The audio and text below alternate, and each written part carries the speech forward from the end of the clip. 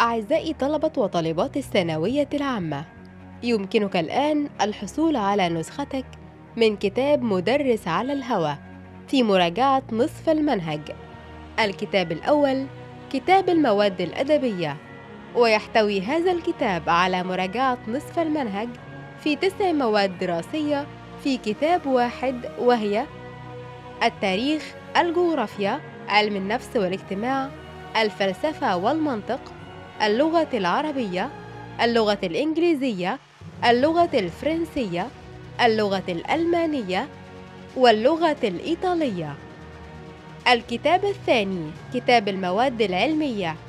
ويحتوي هذا الكتاب على مراجعة نصف المنهج في عشر مواد دراسية في كتاب واحد وهي الفيزياء الكيمياء الأحياء الجيولوجيا الرياضيات اللغة العربية اللغة الإنجليزية اللغة الفرنسية اللغة الألمانية واللغة الإيطالية.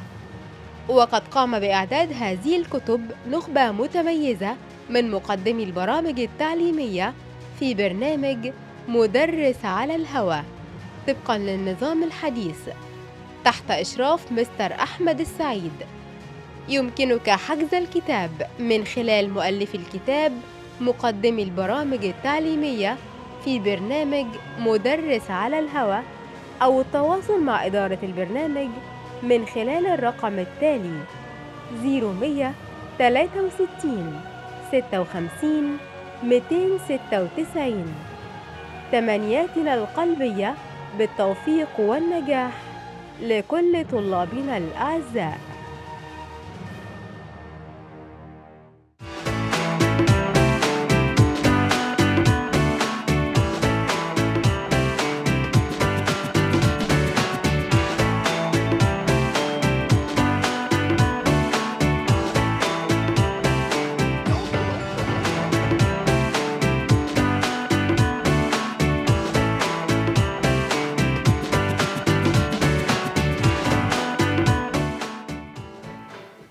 أعزائي طلبة وطالبات الثانوية العامة أهلا بكم في حلقة جديدة من حلقات برنامج مدرس على الهواء الحلقة رقم 76 مساء الخير على كل طلابنا الأعزاء. مساء الخير على كل مدرسي الكيمياء على مستوى الجمهورية اللي يتابعونا واللي إحنا كالعادة مستنيين كل ملاحظاتهم حتى نرتقي البرنامج وندنو من الكمال. النهاردة عندنا حلقة مراجعة على نص المنهج بالنسبة للكيمياء للثانوية العامة وهيكون في ضيافتنا أحد كوادر المادة على مستوى الجمهورية. هيكون معانا الأستاذة صفاء أحمد. مساء الخير يا مستر أخبار حضرتك إيه؟ الحمد لله. وهيكون معنا أيضا آه، مستر محمود الديب. أهلا وسهلا. إزيك يا مستر أحمد؟ واهلا. بمستر صفاء ومستر محمد. أهلا بيك حبيبي أهلا. ومعانا أيضا مستر محمد صابر. إزيك يا مستر محمد؟ الله يسلمك. أخبار حضرتك وسهلاً. الحمد لله تمام. تسلم. تمام. النهارده زي ما قلنا لكم في مراجعة على مادة الكيمياء نص المنهج. Okay. وهيكون في ضيافتنا الأساتذة اللي إحنا تفضلنا وقلنا أسمائهم دلوقتي. ويا ريت الطلاب بتاعنا كلهم يركزوا معانا في الأسئلة دي لأن هي قائمة على أعمال الفكر والتركيز تماشيا مع النظام الجديد للثانوية العامة. هنبدأ الحلقة بتاعتنا مع الأستاذة صفاء ويا ريت المخرج الجميل بتاعنا يجيب لنا page number 1 الصفحه رقم واحد. اتفضلوا يا أستاذ بسم الله الرحمن الرحيم. أول سؤال عندي التركيب الإلكتروني لعنصر اليوتريوم 39 ينتهي طبعا وأنا بوزع اليوتريوم هقرب لأقرب غاز خامل ال Kr 36 هفتح عندي هنا ال 5 s 2 إلكترون يبقى أنا 38 ثم ال 4 d 1 إلكترون يبقى الاختيار رقم ب. تحتوي الدورة n في الجدول الدوري. السؤال الثاني على هنا السلسلة الانتقالية التي رتبتها نقط. طبعا هنا ويتتابع فيها امتلاء المستوى الفرعي. أكيد الإجابة هتبقى رقم ب n ناقص 3 و n ناقص 1 d تستخدم طريقة فيشر تروبش ده السؤال الثالث. في طبعا كلنا عارفين تحويل الغاز طبعا هنا المائي إلى وقود سائل. جميل جدا. هننتقل للصفحة رقم اثنين مع مستر آه، محمود الديب. اتفضل يا مستر. طيب معانا كده السؤال الرابع بيقول لي هنا يمكن الحصول على مبيد الفطريات من مركبات نقط ونقط؟ أو عندي هنا مديني أربع اختيارات.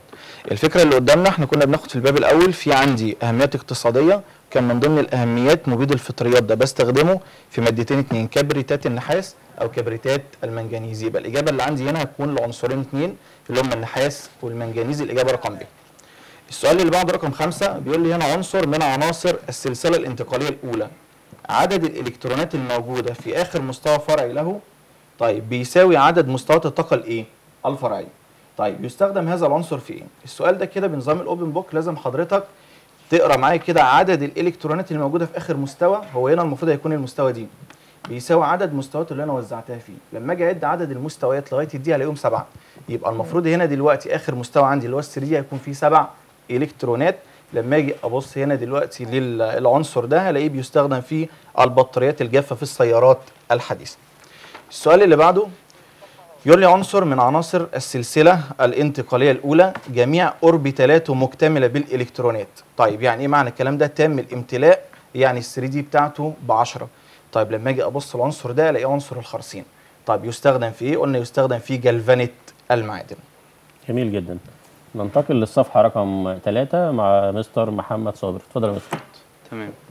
عندي السؤال سبعة بيقول عدد إلكترونات مستوى الطاقة الخارجي في ذرة عنصر عدد الذرة 24 بيساوي. طبعا إحنا لازم نوزع العنصر اللي عدد الذرة 24 ونفتكر إن هو ده الكروم اللي كان بيبقى فيه شذوذ في توزيع الإلكترون بتاعه.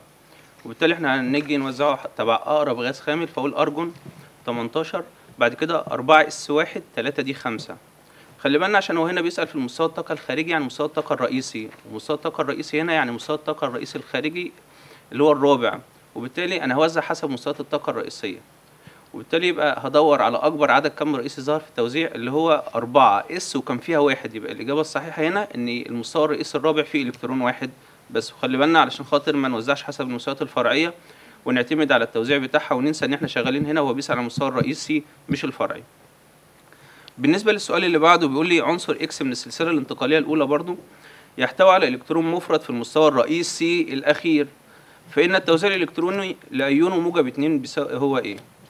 طبعا المستوى الرئيسي الأخير في واحد في عناصر السلسلة الانتقالية الأولى كان موجود مع عنصرين الكروم 24 اللي إحنا لسه موزعينه اللي هو 4 s 1 3 d 5 وكذلك النحاس اللي هو 4 s 1 3 d 10 يبقى أنا عندي هنا احتمال من الاثنين أنا هفقد اتنين إلكترون طبعا هفقد ال s قبل ما أفقد من ال d فأنا هفقد واحد من ال s هفقد من ال d كمان واحد. يبقى اذا ال d يا يبقى فيها تسعة يبقى فيها أربعة. طبعا هو مديني الاختيار رقم ب. 3 d أربعة ومش موجود الاختيار 3 دي تسعة يبقى الاختيار الصحيح الإجابة رقم ب. بالنسبة للسؤال التاسع في الجدول التالي بيعبر عن جهود التأين لأحد العناصر بوحدة الكيلو جول لكل مول. مديني جهود تأين وجهد التأين هو مقدار الطاقة اللازمة لفصل أقل الإلكترونات ارتباطا بالذرة المفردة في الحالة الغازية. جهد التأين الأول يبقى أفقد إلكترون الأول. الثاني هفقد الثاني والثالث يبقى أفقد الإلكترون الثالث من الذرة. أو من الأيون بشكل أدق لأنه بقى خلاص فقد اتنين. هنلاحظ هنا علشان خاطر نحسب الصيغة المحتملة اللي هو طالبها مني للمركب الناتج من اتحاد العنصر مع الأكسجين لازم أجيب تكافؤ العنصر. تكافؤ العنصر يعتمد على عدد إلكترونات مستوى الطاقة الأخير بتاعه وبالتالي أنا هنا لازم من جهد التأين أحدد هو في كم إلكترون في المستوى الرئيسي الأخير. هلاقي جهد التأين الأول كان 700 الثاني بقى 1400 يعني تقريبا زاد للضعف. الثالث ألاقي 7000 يعني زاد زيادة كبيرة جدا جدا وبالتالي ده أدى أكيد إلى كسر مستوى طاقة مكتمل. وبالتالي يبقى المستوى الرئيسي الأخير فيه 2 إلكترون اذا العنصر ثنائي التكافؤ. وبالتالي لما يخش مع الأكسجين في مركب والأكسجين كمان ثنائي التكافؤ الاثنين تروح مع الاثنين اذا الصيغة المحتملة هنا هتبقى هي الاكس أو تمام أحسنت يا أستاذ محمد. هننتقل للصفحة رقم أربعة مع الأستاذة صفاء أحمد. اتفضل يا أستاذ إيه، في السؤال اللي هنا بيقول لي العامل الحفاز طبقا للتفاعلات التالية. هبص على التفاعل يبقى لازم أفتكر العامل الحفاز. العامل الحفاز هي مادة يلزم منها القليل. تزيد هنا من معدل التفاعل الكيميائي دون أن تتغير أو تغير من موضع الاتزان. اذا معنى كده لو أنا بصيت على التفاعلين هلاقي طبعا هنا ال X ال Y 205 داخلة في بداية المعادلة الأولى وانتهت هنا خارجة معايا في المعادلة الثانية اذا معنى كده العامل حفاز دخل وخرج من التفاعل كما هو. يبقى الاختيار بتاعي الصحيح الاختيار رقم ب اللي هو واي 205 السؤال اللي بعده الشكل المقابل يعبر عن مسار الطاقة لتفاعل ما يرمز فيه الحرف نقط بنقول في طاقة التن... إلى طاقة التنشيط عند استخدام عامل حفاز. هبص على ال- المنحنى اللي قدامي. أنا طبعا واخدة المنحنى علشان أتكلم على طاقة التنشيط باستخدام عامل حفاز. يبقى من بداية المتفاعلات إلى منحنى الطاقة اللي هو باستخدام عامل حفاز اللي هو المنحنى الأقل. إذا الحرف اللي هيعبر طبعا هيبقى عندي الاختيار ألف ده الصحيح اللي هو الحرف بي هنيجي للسؤال اللي بعده بيقول لي هنا في الشكل المقابل هبص على طبعا أكيد طالما جاب لي رسمة في الامتحان أعرف كويس جدا إجابتك موجودة على الرسمة. هبص كده في الشكل المقابل طبعا هنا بيوريني الأيونات وهنا بنقول حالة الانحراف للميزان في وجود طبعا عدد من الأيونات. أنا عارفة كويس جدا كلما زادت عدد الإلكترونات المفردة كلما زاد طبعا في الدي بيزيد طبعا عندي هنا الانحراف وبنقول المادة بتصبح مادة بارا مغناطيسية. هبص على جميع الأيونات الموجودة عندي هلاقي إن أنا عندي في ألف بلاقي عدد هنا بنقول الإلكترونات اللي موجوده في أيون الفاناديوم موجب طبعا عندي اتنين هيبقى ثلاث إلكترونات مفردة. هبص هنا عندي على الحديد موجب ايونه موجب اتنين طبعا عدد الإلكترونات المفردة أربعة. هبص على هنا المنجنيز موجب اتنين ايونه هلاقي عدد الإلكترونات المفردة في ال d خمسة. هلاقي هنا عندي في عنصر الكروم طبعا اي Cr موجب 3 عدد الإلكترونات المفردة هتكون طبعا 3 أكيد الاختيار ال- طبعا اللي هو فيه أكبر عدد من الإلكترونات هيكون الاختيار رقم ج اللي هو Mn موجب 2 خمس إلكترونات مفردة تؤدي لزيادة انحراف طبعا. في هنا بنقول مؤشر الميزان. جميل جدا. ننتقل للصفحة رقم خمسة مع مستر محمود الدين. اتفضل يا مستر. كده معانا السؤال رقم 13 كمان. بيقول لي هنا إذا علمت أن ال- الأيون اللي قدامي ده بيقول لي MX باي 6 وهنا x كام؟ أو عندي هنا دلوقتي y فوقيها. ده كده صيغة الأيون بتاعتي. بيقول لي وكانت ال y بتساوي كام؟ 3 طيب يبقى الشحنة اللي قدامي هنا على الأيون ده كله هيتحط هنا كام؟ 3 بيقول لي فإن كل من ال M وال X على الترتيب تمثلان إيه؟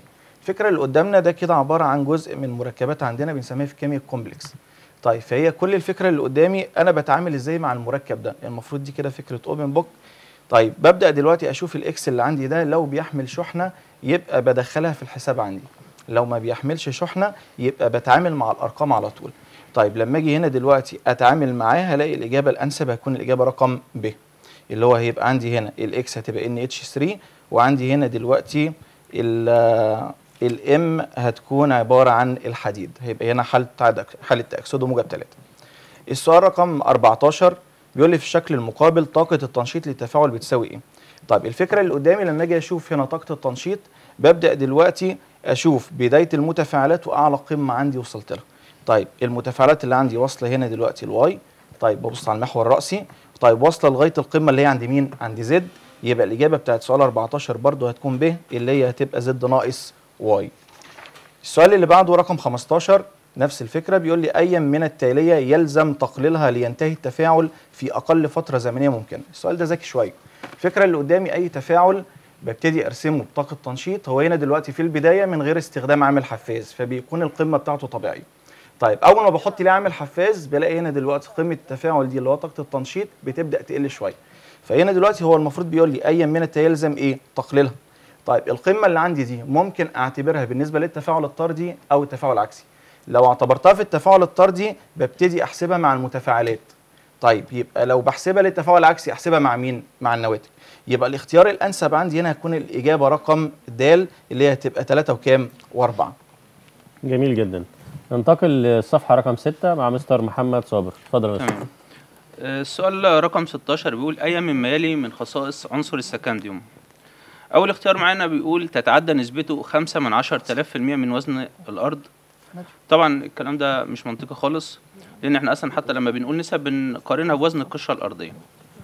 وكمان هو نسبته في كتاب المدرسة خمسة من عشر تلاف وبالتالي مش هيتعدى. تاني حاجة يستخدم في صناعة كاميرات التصوير النهاري؟ لأ هو بيستخدم في, في بيدخل في مصابيح أبخرة الزئبق وبالتالي هو مش بيخش في الكاميرا ده بيخش في المصباح.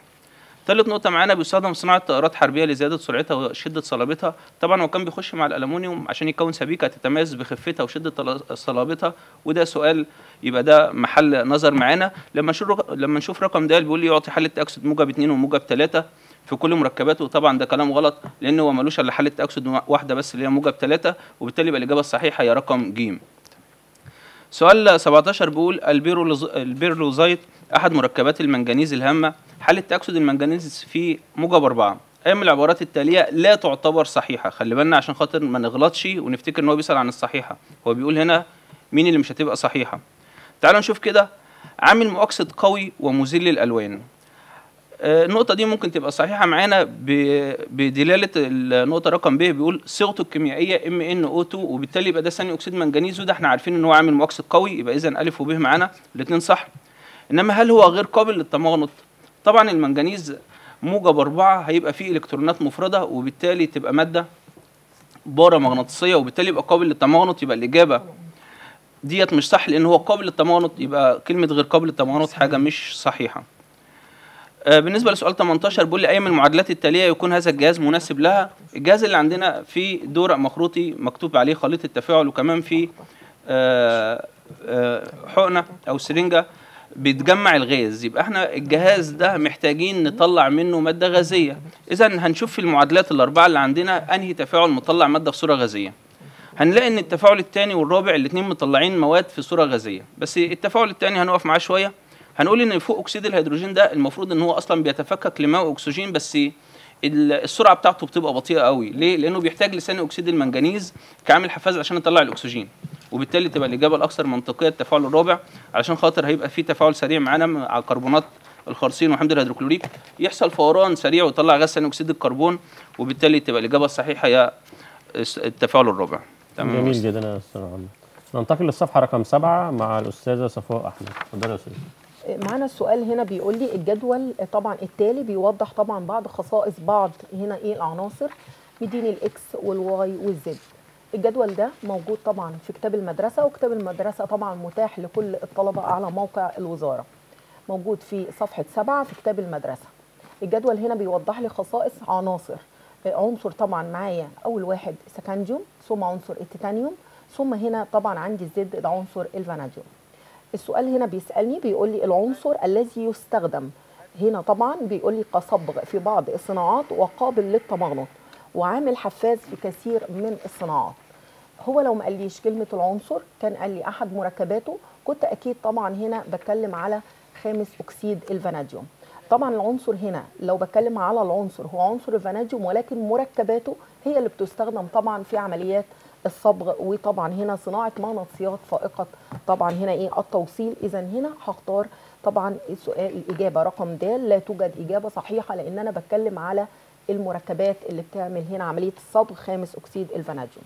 السؤال اللي بعديه طبعا معايا هنا سبيكة بين فلزية بيقول لي هنا في الاختيارات سبيكة بين فلزية. يبقى لازم أفتكر السبائك البين فلزية هي عبارة عن إيه؟ هي سبيكة مكونة نتيجة اتحاد كيميائي ما بين مكونات السبيكة بحيث تديني سبيكة شديدة الصلابة. بنقول هنا لا تخضع لقوانين التكافؤ في الكيمياء عناصرها لا تقع في مجموعة واحدة. باجي أقول العناصر دي مثلا زي سبيكة معايا الالومنيوم ومعايا النيكل معايا الالومنيوم والنحاس طبعا هنا الذهب والرصاص ومعايا سبيكة السمنتايت طبعا يبقى هنا الاختيار طبعا الصحيح هيبقى هنا بالنسبة للاختيارات رقم ب اللي هي سبيكة بنقول عليها الديورالومين أي الأشكال الآتية تعبر عن العلاقة بالنسبة الحديد أثناء عملية التحميص والزمن. هبص على المنحنيات أنا عارفة أن أنا في عملية التحميص أنا بعمل التحميص ليه أصلا؟ أنا بعمل عملية التحميص بنقول لثلاث أسباب. أول حاجة التخلص من الرطوبة تاني حاجة بأكسد الشوائب وأرفع نسبة الحديد في الخام. طبعا عشان أرفع نسبة الحديد في الخام يبقى أنا هنا هزود نسبة الحديد. زي ما كنا بناخد طبعا معايا كده في خام السيدرايت والليمونايت بيبقى فيه نسبة للحديد. هلاقي كمثال مثلا معايا في السيدرايت 48 ونص. لما بعمل عملية التحميص بتزيد نسبة الحديد وتصبح عندي هنا 69 و6 من عشرة في المية. أكيد الاختيار اللي أنا هختاره هيبقى الاختيار رقم ج هنقول ما اخترتش ألف ليه؟ لأن ألف هو جايب لي هنا ارتفاع النسبة من الصفر والحديد طبعا عندي ليه طبعا نسبة بنقول وجود. إذا معنى كده وبنقول ليه تركيز. إذا معنى كده إن أنا هختار الاختيار رقم هنا ج هي الإجابة الصحيحة.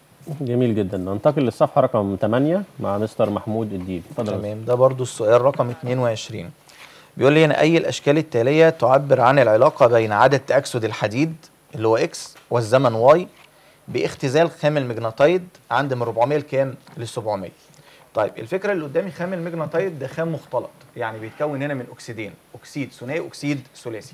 طيب الفكرة بتاعت الاختزال اللي أنا ببدأ دلوقتي أقلل حالة التأكسد المفروض بتاعة الحديد اللي جوه الخام ده بدل ما أخليها مثلا من موجب 3 أحولها لموجب 2 أو في بعض الحالات بتبقى بصفر. بس هنا هو محدد لي درجة حرارة بيقول لي من 400 لكام؟ ل 700 فالفكرة اللي قدامي هنا دلوقتي خليط بتاع المجناطيد حالة التأكسد اللي جوه موجب 2 هتفضل زي ما هي لكن اللي هيقل هي موجب كام؟ 3 يبقى المفروض الإجابة الأنسب عندنا هتكون المنحنى الأخير اللي قدامي اللي هو واخد الشكل علاقة ثابتة وعلاقة عكسية. طيب السؤال اللي بعده رقم 23 بيقول لي إحدى التفاعلات التالية يسلك فيها أكسيد الحديد كقاعدة. مين أكسيد الحديد ده؟ اللي هو أكسيد الحديد الثلاثي. طيب بما إن الحديد فلز يبقى الأكسيد بتاعه فعلا قاعدة. طيب إمتى يشتغل أو يعمل دلوقتي كقاعدة؟ لما يعمل تفاعل تعادل عندنا. تفاعل تعادل يعني حمض وقلوي يدينا ملح ومية. طيب يبقى هنا دلوقتي المفروض الإجابة الأنسب هتكون الإجابة رقم ب اللي هو عندي Fe 2 O 3 مع 6 HCl كده فعلت حمض مع قلوي. طيب بدأ يديني هنا أملاح حديد ثلاثية اللي هو عبارة عن كلوريد حديد ثلاثي وطلع معاه كمان المية. السؤال اللي بعده سؤال مهم جدا وفي منتهى الذكاء. بيقول إيه بقى؟ يتحول أكسيد الحديديك إلى أكسيد الحديدوز أو أكسيد حديد مغناطيسي. طيب المفروض هنا الطالب عشان يجاوب سؤال زي ده لازم يكون فاهم المعادلات كويس قوي. طيب وعارف كل حاجة إمتى بتحصل أكسدة وإمتى بيحصل اختزال. طيب لما يجي لي مخطط زي ده يا مستر أبتدي أقرأ منين؟ هو هنا بيقول لك مين اللي يتحول أكسيد الحديديك يبقى أنا بمسك المادة اللي في النص وأشوف العملية الأولى والعملية الثانية طيب هو هنا دلوقتي المفروض Fe 2 O 3 يعني حالة تاكسد الحديد موجب 3 اتحولت في العملية الأولى بقى FeO يعني حالة تاكسد موجب 2 يبقى هنا حصل عملية اختزال. بنفس الطريقة أنا عندي هنا Fe 2 O 3 في العملية الثانية اتحول لمختلط. يعني إيه برضه حصل برضه عملية اختزال. فالإجابات اللي عندي هتكون الإجابة رقم ج هيبقى اختزال واختزال. جميل جدا يا مستر محمود. ننتقل للصفحة رقم 9 مع مستر محمد صابر. اتفضل يا. مستر. السؤال معنا سؤال 25 بيقول بإمرار غاز ثاني أكسيد الكبريت في محلول ملح حديد ثلاثي فإن. نبص في المعادلة كويس كده هنلاقي إن كبريتات الحديد الثلاثي لما مررنا عليها غاز ثاني أكسيد الكبريت حولت كبر... حولت كبريتات الحديد الثلاثي خلته كبريتات حديد ثنائي وبالتالي يبقى الحديد الثلاثي اتحول لثنائي حصلت عملية اختزال. ولو لاحظنا كمان هنلاقي إن الكبريتات أو الكبريت اللي جوه مجموعة الكبريتات عدد تأكسده موجب 6 خرج زي ما هو بس هنلاقي الكبريت اللي جوه ثاني أكسيد الكبريت عدد تأكسده موجب 4 اتحول لموجب 6 في الناحية الثانية وبالتالي هو بيسألني هنا عن مين اللي حصل له أكسدة ومين اللي حصل له اختزال. اذا اللي حصل له اختزال هو الملح اللي هو كبريتات الحديد الثلاثي واللي حصل له أكسدة هو غاز ثاني أكسيد الإيه؟ الكبريت. وبالتالي يبقى الإجابة الصحيحة معانا هي رقم ج يتأكسد الغاز ويختزل الملح. أنا عايز أقول حاجة هنا في في السؤال ده حاجة ضرورية جدا. أوقات كتير لما بيجي يقول لي لما اضيف هيدروكسيد الصوديوم أو هيدروكسيد الأمونيوم على أحد أملاح الحديد الثنائي أو الثلاثي ويكون ضايف معاها عامل مؤكسد أو عامل مختزل هنا بيبقى في شغل مختلف تماما. يعني لو جه قال لي أنا معايا كبريتات حديد ثلاثي واحط عليها هيدروكسيد صوديوم بس خلي بالك أنا كنت حاطط ثاني أكسيد كبريت. يبقى اذا أنا ما بكشفش عن كاتيون الحديد الثلاثي أنا بكشف عن كاتيون الحديد الثنائي. يطلع اللون الأبيض المخضر اللي هو في بنك المعرفة قال عليه أخضر فاتح. وخلي بالنا برضو لو كان معايا ملح الحديد الثنائي وحطيت عليه عامل مؤكسد زي ثاني أكسيد منجنيز أو أو برمنجانات البوتاسيوم. دي بتحوله لثلاثي وبالتالي يبقى ال- الكشف هيتغير من حديد ثنائي لثلاثي. آه، بالنسبة للسؤال رقم 26 بيقول لي إحدى التاليه تتكون عند وضع شريحة حديد في الهواء الرطب. طبعا الحديد في الهواء الجاف لا يصدأ إنما في الهواء الرطب بيصدأ. فلما يصدأ يتحول لإيه؟ يتحول لأكسيد حديد ثلاثي متهدرت وبالتالي يبقى إحنا الإجابة معانا رقم د خلي بالنا عشان خاطر السؤال ده هيتعارض مع الكيمياء الكهربية إن شاء الله لما ناخدها لأن الصدأ المركب بتاع الصدأ في الكيمياء الكهربية هو عبارة عن هيدروكسيد حديد ثلاثي. طب نطلع من المأزق ده إزاي؟ الهيدروكسيد الثلاثي أصلا لما بيتحل بالحرارة بيتحول لأكسيد ثلاثي ومية. يبقى الاثنين زي بعض إن شاء الله ونبقى واخدين بالنا منهم. معانا السؤال رقم 27 سؤال حلو برضو. بيقول لي إذا كانت متفاعلات تفاعل معين قال لي Fe solid واداني السي يو موجب 2 وال SO 4 سالب 2 aqueous يعني دول محاليل مائية يعني ايونات في محلول مائي. وبالتالي أنا بحط الحديد بفعله مع كبريتات النحاس بس ما قالهاليش مباشرة. طب إيه اللي هيحصل؟ هنعرف بعد كده وخدنا زمان برضو إن الحديد أكثر نشاط من النحاس فيحل محله وبالتالي يتأكسد الحديد ويختزل النحاس. فينتج حديد aqueous إنما النحاس هو اللي هيبقى solid وبالتالي تبقى الإجابة بتاعتنا هي رقم د يطلع Fe موجب 2 aqueous ونحاس solid خرج من التفاعل الحديد حل محله وبالتالي يتكون SO 4 سالب 2 زي ما هي موجودة في المحلول. جميل يا جدا يا مستر محمد قبل ما نكمل الأسئلة مع بعض كده هنعمل stop كده عشان في بعض الأسئلة جاية لنا من من أحد الطلاب. نشوف الإجابات بتاعتنا مع اساتذتنا في الإيه؟ في الاستوديو.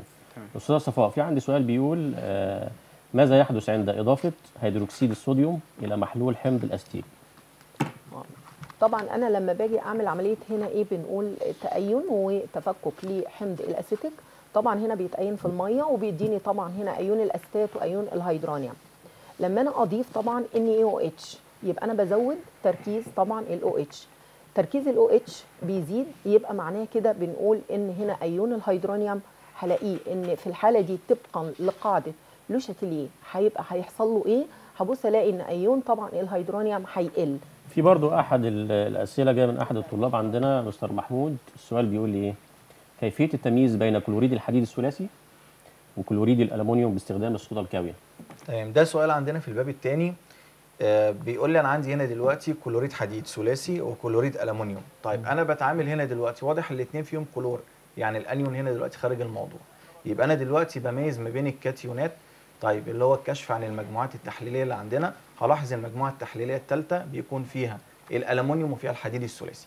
لما أجي هنا دلوقتي أضيف عليهم هيدروكسيد الصوديوم أو ممكن يقول لي بأسلوب تاني أحط مثلا ماء الأمونيا أو هيدروكسيد الأمونيوم أي حاجة من الحاجات دي ده برضو بيكون صح. طيب مع الصودا الكاوية الاثنين برضو بيعملوا نفس التأثير. هيعمل إيه؟ طيب مجرد لما بحط الصودا الكاوية على كلوريد الحديد الثلاثي بيبدأ يكون لي راسب بني محمر من هيدروكسيد الحديد الثلاثي. لكن لما بضيفه هنا دلوقتي الهيدروكسيد الالومنيوم بيحصل حاجة بقى غريبة قوي في البداية بيتكون راسب ابيض جيلاتيني من هيدروكسيد الالومنيوم لما أجي أزود كمية من هيدروكسيد الصوديوم بلاقي هنا دلوقتي الراسب ده بيبدأ يذوب. طيب والسبب العلمي؟ بقول له لأن المفروض الالومنيوم ده أكسيده أصلا أكسيد متردد. طيب يعني إيه معنى الكلام؟ بيبدأ هنا يدوب بسبب الحكاية دي وبيدينا مركب اسمه ميتا الومنيات الصوديوم. جميل جدا يا أستاذ. في برضو أحد الأسئلة جاية لي هنا مستر محمد. السؤال بيقول إيه بقى؟ هل تتغير قيمة ثابت الاتزان بتغير التركيز أو الضغط أو درجة الحرارة؟ تمام. السؤال ده حلو جدا ونخلي بالنا منه إن قيمة ثابت الاتزان هي اسمها ثابت المفروض إن هي مقدار ثابت. بس نخلي بالنا هي مقدار ثابت ما يتغيرش لو تغير التركيز أو تغير الضغط أو حتى تغير العامل الحفاز. وما نسالش عنه بس وإحنا بنقول حتى لو العامل حفاز ضفنا عامل حفاز أو شيلنا عامل حفاز قيمة الكيسي تظل ثابتة. لا تتغير إلا بتغير درجة الحرارة فقط. خلي بالنا عشان ممكن يسألني هي هتزيد كمان ولا هتقل لو تغيرت درجة الحرارة؟ لو تغيرت درجة الحرارة ده هيتوقف على نوع التفاعل إذا كان التفاعل طارد أم موص وبنقول للطلبة كلمة صغيرة خالص في الجزئية دي بنقول له لو التوا- لو التفاعل مشي في الاتجاه الطردي يعني النواتج تركيزها بيزيد وبالتالي تركيز النواتج يزيد في البسط ويبقى أكبر إذا قيمة الكيسي تزيد. أما لو التفاعل مشي في الاتجاه العكسي اذا قيمة النواتج بتقل والمتفاعلات هي اللي بتزيد يبقى قيمة ال Kc تقل. ديت نقطة. عايز أقول للطلبة كمان نخلي باله من كلمة ثابت الاتزان وموضع الاتزان. لأن لما أغير التركيز موضع الاتزان يتغير إنما الثابت يظل ثابت. Kc تظل ثابته لو اتغير الضغط وكان عدد المولات في. في المتفاعلات والنواتج مش متساوي وبالتالي موضع الاتزان يتغير ال Kc تظل ثابته العامل الحفاز لا يغير الموضع ولا يغير الثابت. يعني ديت جزئيات مهمة في التفاصيل نخلي بالنا منها قوي. في كمان جزئية هو التركيز يقدر يغير قيمة ثابت الاتزان. أقول لك لو اتغيرت عدد المولات في معادلة التفاعل الموزونة يعني المعادلة كانت مثلا كلها واحد مول ضرب المعادلة كلها في اتنين قيمة ال Kc تتغير. يبقى. تمام؟ ولا إضافة مادة صلبة تغير. تمام. ولا إضافة مادة صلبة ثلاثة تغير من تغير. الكيسي آه، تمام. ثلاثة لا تغير. إضافة العامل حفاز تمام. تساوي عدد المولات في الضغط تمام. إضافة مادة صلبة. تمام. لا تغير من قيمة الكيسي كمان الفكرة بتاعت مستر محمد اللي هو قالها دلوقتي دي برضو حلوة قوي في فكرة عدد آه. المولات. تمام. لو عدد المولات هنا دلوقتي. اتضرب في اتنين تمام. يبقى الكيسي بتتربع. آه طبعا. طيب لو اتقسم على الاثنين يبقى آه. بضربها في نص يعني أكني بجيب الجذر بتاعها. تمام. تمام. فدي برضو ملحوظة مهمة جدا وحلوة. جميل جدا. ربنا يبارك نرجع للأسئلة بتاعتنا تاني ونشوف مع بعض الصفحة رقم 10 مع الأستاذة صفاء أحمد. اتفضل يا. السؤال طبعا عندي 28 بيقول لي هنا يمكن إزالة خمول الحديد فيزيائيا. يبقى هنا أكد لي فيزيائيا. أنا بزيل خمول الحديد اللي هو اتكون نتيجة إيه؟ نتيجة تفاعل.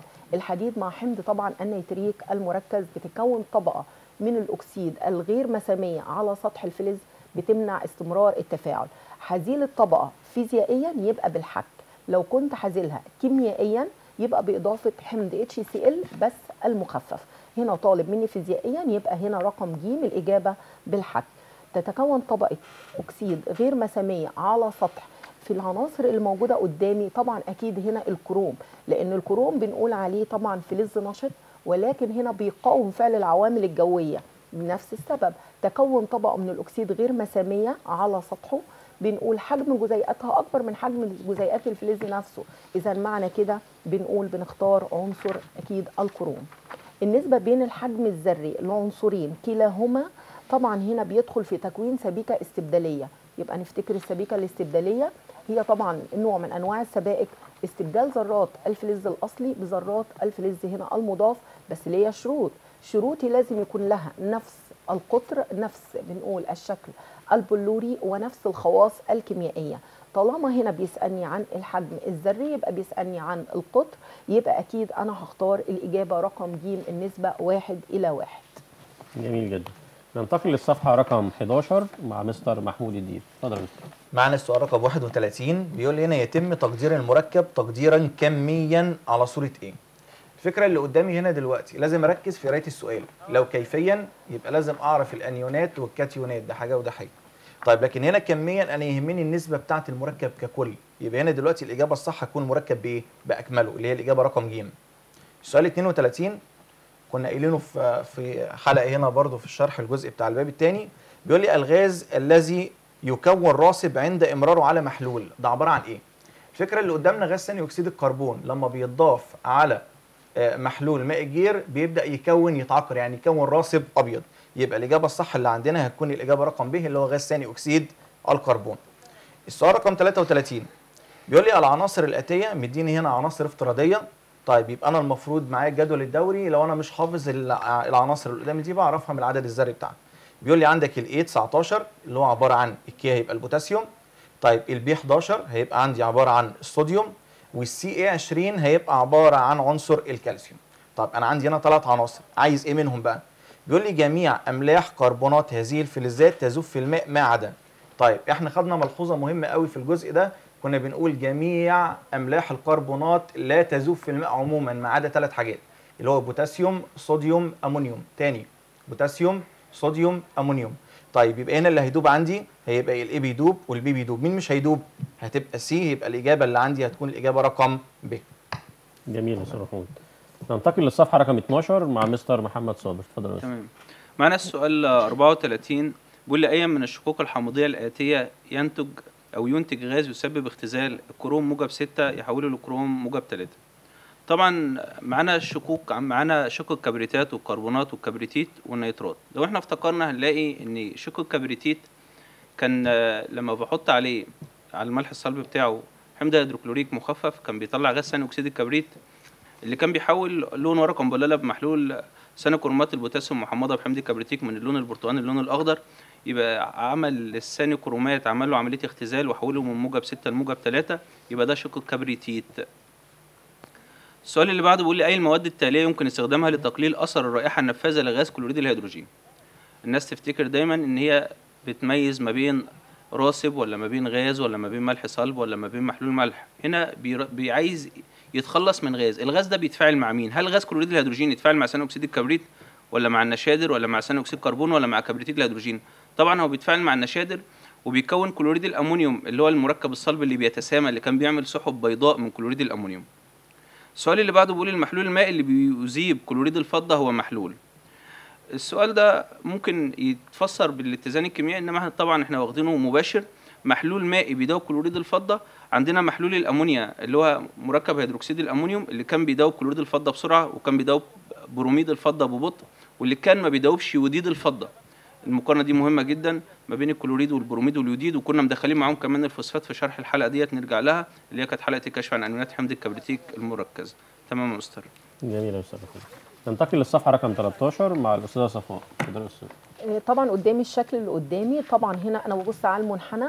وإحنا قلنا طالما قدامي رسم يبقى لازم طبعا هنا أبص على الرسم هيكون موجود الإجابة.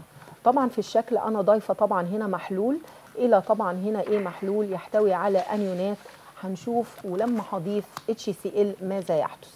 لما ضفنا هنا إلى مح- المحلول أكيد طبعا أنا هبص طالما ضفت HCl يبقى أكيد أنا بتكلم على مجموعة أنيونات كلوريد الباريوم كلوريد الباريوم يبقى أنا لما بضيفه على بنقول كل من الكبريتات والفوسفات مفروض هنا بيكون عندي راسب أبيض ولكن بنقول ال- الكبريتات طبعا لا يذوب في اتش سي ال بينما الفوسفات بيدوب في اتش سي ال يبقى معنى كده لما ضفت كلوريد الباريوم محلول كلوريد الباريوم في بداية المنحنى أنا شايفة اتكون راسب ولما ضفت اتش سي ال ابتدى الراسب طبعا هنا بنقول بيقل ثم هنا بنقول في الراسب عندي متكون. يبقى أكيد اللي داب هيكون طبعا أنيون الفوسفات واللي هنا بيظل كما هو راسب أنيون الكبريتات يبقى الاختيار اللي هو رقم ألف. تعال نشوف هنا السؤال اللي بعده. باجي أتكلم على مجموعة من التفاعلات. أكيد أنا معايا وعارفة كويس جدا إن حمض ال بيكون أقل ثباتا من بنقول كده مجموعة النترات وأقل ثباتا من مجموعة الكبريتات. هبص على المنح... ال... ال... ال... بنقول التفاعل بي والتفاعل سي أكيد طبعا هنا التفاعلين دول طبعا لا يحدث لا يمكن يحدث. طب التفاعل إيه؟ طبعا هنا بينتج عندي كبريتات الكالسيوم وكبريتات الكالسيوم هنا طبعا خارجة في صورة محلول وهي بتكون عندي راسب وهي كمان مش موجود التفاعل في الاختيارات اذا طبعا الاختيار طبعا هنا اللي موجود عندي هيبقى الاختيار د لا توجد إجابة صحيحة جميع التفاعلات هنا خاطئة. تعال نشوف هنا في المنحنيات اللي قدامي برضو نفس الكلام. في المنحنيات اللي قدامي أنا عندي هنا ببص على إضافة نترات طبعا هنا إيه؟ الفضة. لما بضيفها بنقول لانيون الكلوريد؟ بيكون كلوريد الفضة. كلوريد الفضة بيكون راسب أبيض بيتحول لبنفسجي عند تعرضه للضوء. يذوب طبعا عندي هنا في محلول النشادر. يبقى ده هنا أبص على المنحنيات اللي فيها الكلوريد وداب. يبقى أنا يا إما في الشكل الرابع يا إما في الشكل الثاني طب والبروميد؟ البروميد لما بيكون عندي بروميد الفضة بيكون راسب طبعا هنا أبيض مصفر. بنقول طبعا عندي هنا بيدوب بس بيدوب ببطء. اذا طبعا بيدوب. طب وهنا اليوديد. اليوديد بيديني راسب أصفر والراسب الأصفر فيه محلول النشادر اللي هو يوديد الفضة لا يذوب. اذا معنى كده الاختيار اللي أنا هختاره اللي هو الشكل طبعا هيكون الثاني الشكل الثاني هو الشكل الصحيح لأن الكلوريد بيدوب والبروميد بيدوب بينما اليوديد لا يدوب في محلول النشادر اللي هو هيدروكسيد الامونيا جميل جدا. ننتقل للصفحة رقم 14 مع الأستاذ. آه، محمود الديب اتفضل يا أستاذ ماشي حبيبي السؤال رقم 40 عندنا بيقول لي هنا المحلول الذي يعطي راسب مع أكبر عدد من الأنيونات في محلول هو إيه؟ طيب لازم الطالب عشان يجاوب السؤال ده لازم يكون فاهم ويكون مراجع الجزء ك total كده كله اللي هو جزء الأنيونات اللي هو عندي مجموعة حمض الهيدروكلوريك مجموعة حمض الكبريتيك مجموعة كلوريد الباريوم طيب انت هنا بتقول لي أنا بيعطي راسب مع اكبر عدد من الانيونات. طيب الإجابة الأنسب هنا هتكون الإجابة رقم ج اللي هي نترات الفضة. ليه يا مستر؟ طيب راجع كده معايا. أنا عندي هنا نترات الفضة كنت بميز من خلاله ما بين الكبريتيد والكبريتيت لما أجي أحطهم كان بيدينا راسب أسود في حالة الكبريتيد وراسب أبيض يسود بالتسخين في حالة الكبريتيت طيب ممكن كمان أستخدم نترات الفضة في مجموعة حمض آه، الكبريتيك المركز. كان يقول لي هنا دلوقتي لما أجي أحط نترات الفضة بيدينا مع الكلور AgCl راسب أبيض يتحول في الضوء للون البنفسجي ويذوب بسهولة في النشادر طيب مع البروم يدينا راسب أبيض مصفر يتحول في الضوء إلى الداكن ويذوب ببطء في النشادر طب لما أجي أحطه مع اليود طيب يدينا راسب أصفر لا يذوب في محلول النشادر كمان في مجموعة كلوريد الباريوم بستخدمه مع الفوسفات يدينا راسب أصفر يذوب في النشادر يبقى أنا استخدمته مع حاجات كتير جدا. يبقى الإجابة هنا تكون رقم ج السؤال رقم 41 بيقول لي جميع كربونات الفلزات تذوب في إيه؟ لسه قايلين سؤال كان زيه كده بس بصيغة مختلفة. إحنا قلنا جميع كربونات لا تذوب في الماء ما عدا ثلاث حاجات، طب بالنسبة للأحماض لا حضرتك ده بقى بتذوب كلها. يبقى هنا الإجابة الصح جميع كربونات الفلزات تذوب فين؟ في الأحماض. طيب السؤال رقم 42 بيقول لي الكاتيون الذي يترسب على هيئة كلوريد. طيب قبل ما أكمل محتاج بس إيه أفتكر حاجة هنا. هو هنا كاتيون يعني المجموعات التحليلية. بيترسب على هيئة كلوريد يبقى كان كاشف هنا المجموعة اللي عندنا هو حمض الهيدروكلوريك خلاص يبقى دي المجموعة التحليلية الأولى. اللي هو هنا دلوقتي بيقول لي بيكون لي مركبات على هيئة كلوريد. شحيح الذوبان فين؟ في الماء. طيب لما أجي أرجع للمجموعة الأولى هلاقي أحد كاتيوناتها الإجابة ب اللي هو عبارة عن أيون الزئبق الأحادي. جميل جدا. ننتقل للصفحة رقم 15 مع مستر محمد صابر. اتفضل يا مستر. مع سؤال 43 بيقول لي أي من التفاعلات التالية لا تحدث لا تحدث مع محلول هيدروكسيد الصوديوم؟ مين هنا مش هيحصل التفاعل مع هيدروكسيد الصوديوم معاه واحد بيقول لي بيكون أيونات كربونات مع ثاني أكسيد الكربون. لا ده هو هيدروكسيد الصوديوم مع ثاني أكسيد الكربون بيكون كربونات صوديوم وبالتالي بيطلع أيونات كربونات. طب هيدروكسيد الصوديوم لا هل يكون أيونات ميتا الومنات مع هيدروكسيد الالومنيوم أيوه بيكونها. بيكون ميتا الومنات صوديوم ذائبة طب تعالوا نشوف رقم ج دي. هل بيكون أيونات هيدروكسيل مع محلول كلوريد الحديد الثلاثي طبعا هو بيكون هيدروكسيد حديد ثلاثي راسب وبالتالي مش هيطلع أيونات بالقدر الكافي وبالتالي يبقى هنا المفروض إن هو ما بيكونش أيونات هيدروكسيل وبالتالي تبقى الإجابة الصحيحة رقم ج نقطة رقم 44 بيقول لي عند إضافة كمية وفيرة من محلول هيدروكسيد الصوديوم لكبريتات الألمنيوم يبقى هناخد هيدروكسيد الصوديوم على كبريتات الألمنيوم أنهي مخطط بيعبر عن كتلة الراسب مع مرور الوقت. هنا لازم نفتكر الألمنيوم بيتفاعل أو كاتيون الألمنيوم لما بحط عليه الصودا الكاوية اللي هي هيدروكسيد الصوديوم بيكون هيدروكسيد ألمنيوم اللي هو راسب أبيض جيلاتيني. وده كان في زيادة من هيدروكسيد الصوديوم. اذا لما ببتدي أضيف هيدروكسيد الصوديوم بيبتدي كتلة الراسب تزيد بمرور الوقت.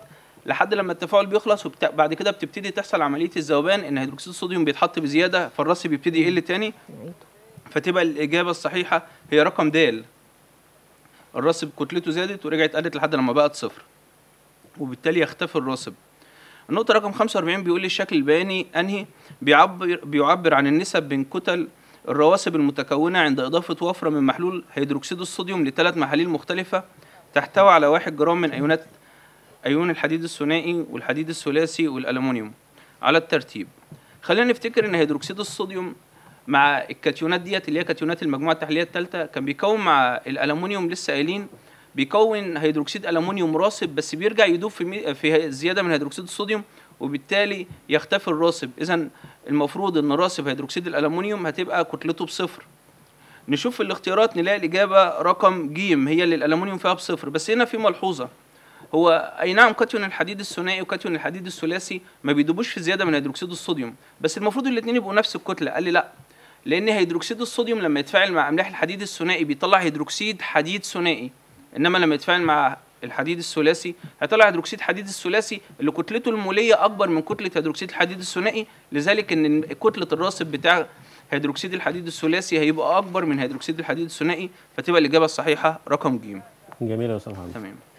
قبل ما ننتقل للصفحة رقم 16 الاستاذه صفاء عندها تعقيب على السؤال اللي هو كان جاي من أحد الطلبة اللي هو بيقول ماذا يحدث عند إضافة هيدروكسيد الصوديوم إلى محلول حمض الأسيتيك ده للصفاء أول حاجة أنا بضيف في فرق إن أنا أضيف اتش سي ال يبقى اتش سي ال هيتأين ويديني أيون الهيدرونيوم فبيزيد تركيز أيون الهيدرونيوم اللي موجود في الأستات وموجود في اتش سي ال يبقى التفاعل هنا بنقول على طول هيصير في الاتجاه العكسي يبقى معنى كده بنقول بيقل تركيز أيون الاستات لو ضفت ان أو اتش يبقى معنى كده بيزيد تركيز ال OH بيقل تركيز أيون الهيدرونيوم يبقى التفاعل بيصير عندي هنا على طول في الاتجاه الطردي عشان يعوض النقص في تركيز أيون الهيدرونيوم وبالتالي بيزيد تركيز أيون الاستات سؤال سنة 2010 آه جميل جدا. ماشي نستأذنكم في فاصل قصير ونرجع تاني.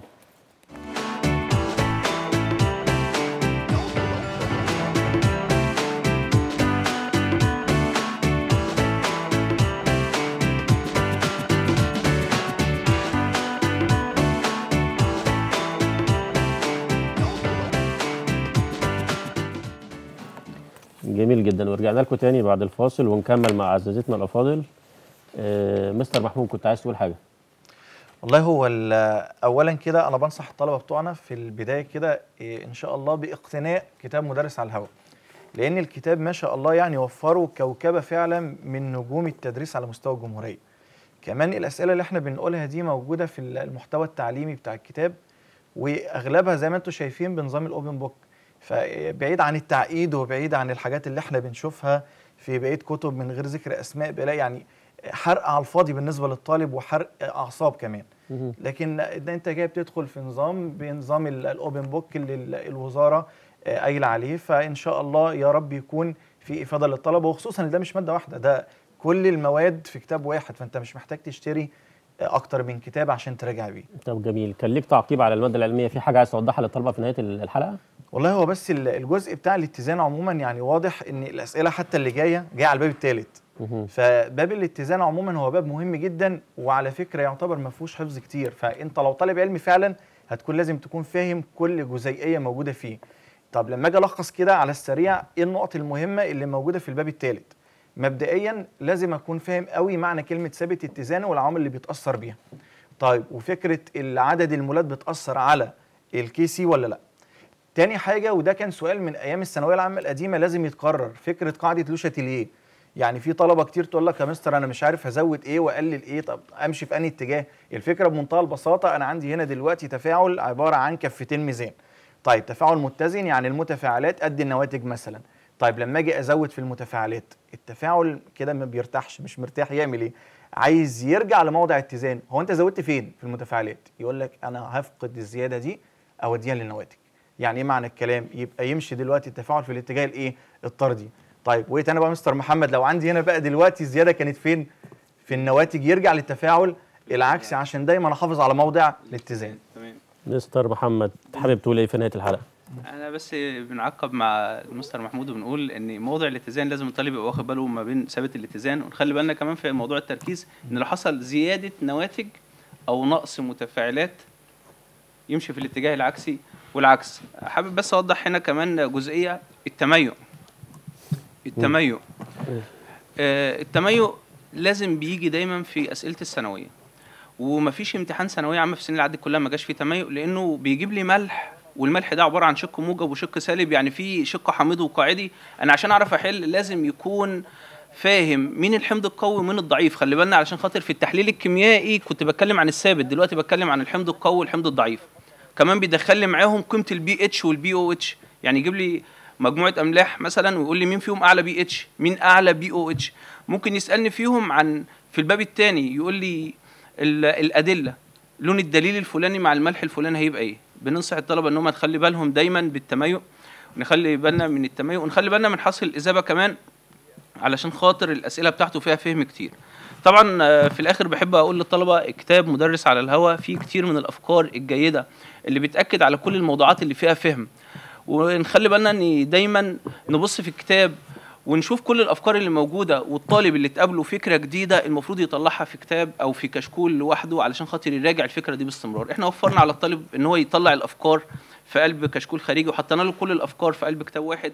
ومش كيمياء بس ده فيزياء وأحياء وكل المواد العلمية وفي جميل كمان جدا لغات. فربنا يبارك فيهم إن شاء الله ربنا يوفق جميل. الجميع أستاذة صفاء تحب تقول إيه في نهاية الحلقة؟ احب برضه أقول للطلبة يعني نخلي بالنا من الباب الثالث فعلا هو باب مهم وبيجيب لي ساعات العلاقة ما بين البي اتش وما بين الاو اتش وما بين هنا البي اتش وما بين أيون الهيدرونيوم. نخلي بالنا العلاقة بين البي اتش وأيون الهيدرونيوم بتكون علاقة طبعا أكيد عكسية وبين البي اتش وأيون الاو اتش بتكون العلاقة بينهم علاقة طردية. بنتكلم طبعا إن إحنا يعني النهارده حاولنا إن إحنا ناخد مجموعة من الأسئلة من قلب طبعا كتاب مدرس على الهواء. الكتاب طبعا فيه مجموعة من الأسئلة هايلة جدا لجميع المواد. فيعني دايما بننصح الطالب باقتناء يعني هذا الكتاب وبالتوفيق لكل طلابنا إن شاء الله. شرفتونا أستاذ صفاء شرفتنا مستر مستر. محمود ديب مستر محمد صابر. ربنا يبارك فيك. ونتمنى طبعا النجاح والتوفيق لكل طلابنا الأعزاء. شكرا لكم جميعا. شكرا.